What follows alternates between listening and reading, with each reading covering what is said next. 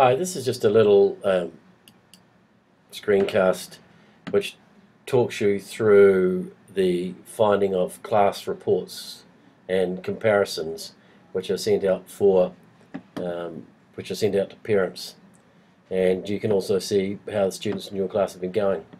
So um, what what I've what we've got here is I've logged into elementary school. The same works at, the same thing works at um, middle school as well.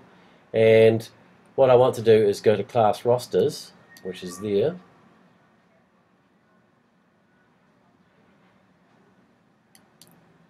Double click and we're looking at spring 2013. So I submit that and then um, you choose the class that you want to have a look at. So there we go there.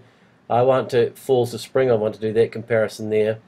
And the type of report that I want to generate is both. Okay. And then you can either uh, click on an individual student like this here, and so that will give me the student Maya's um, uh, results there. What what we're seeing here is um, we're seeing the uh, student growth it compares with typical student growth and we've got a percentile here so obviously the student's are very uh, a pretty high achieving student.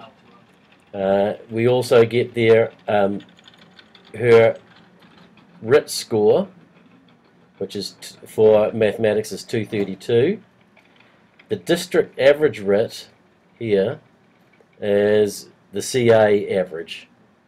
Okay?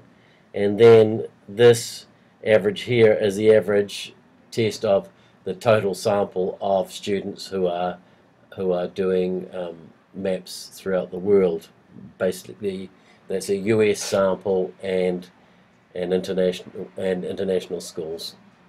So we and then and this is explained a little bit there. And here we can see now. You can see this uh, represented graphically and we've got here the blue line there the student here she go there's projected so she's above the students above um, the school average which is the yellow line there the orangey line. And here's the the norm throughout the world. And here's reading. And and and it's a bit of a breakdown of, of units there too. Okay? So that's an individual student. And to get the whole class uh, all we do is we click on the class name there.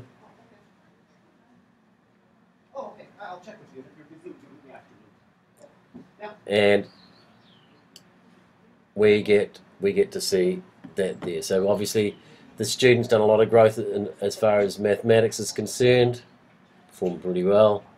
Uh, reading, good growth there, uh, and good growth in language usage too and you'll see that that's represented on on this graph so last year it took a bit of a dip and then back up there. And and here we, you can track what they're doing there. It's a pretty interesting graph there to have a look at. And if you scroll down through there you can see um, the results for the, the varying students there.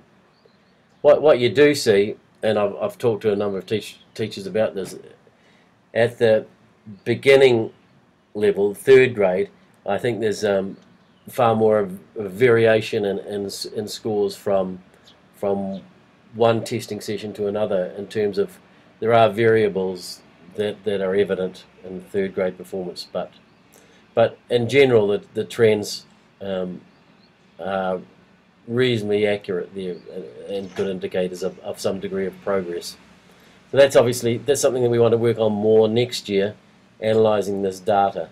But but um, I know that um, people are busy at this time of year, but um, if you want to have a look at um, these sorts of trends with your students um, as a result of the recent map testing, that's how you do it. Thank you.